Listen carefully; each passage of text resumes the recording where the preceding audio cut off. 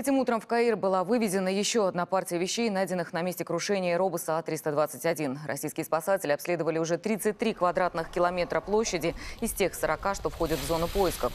Помимо личного состава задействованы беспилотники. Также помогают и данные, полученные с помощью космического мониторинга.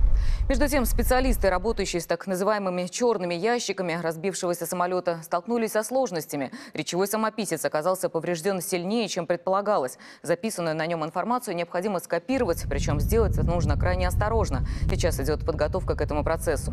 Ход операции на Синайском полуострове сегодня обсуждался на селекторном совещании в МЧС. 40 километров квадратных – это зона вашей персональной ответственности. Каждый сантиметр квадратный проверьте, обследуйте. В зоне чрезвычайной ситуации работают представители различных служб, структур. Организуйте четкий, жесткий контроль за всеми передвижениями людей в зоне чрезвычайной ситуации. Особенно тех, кто туда прибывает впервые. Тем временем компания «Когалым Авиа», которая эксплуатировала разбившийся лайнер, отчиталась о выполнении предписания Ространснадзора. Ведомство ранее распорядилось приостановить использование самолетов данного типа. Это, напомню, аэробус А-321. И сегодня сообщила, что перевозчик предоставил соответствующие документы в надлежащие сроки.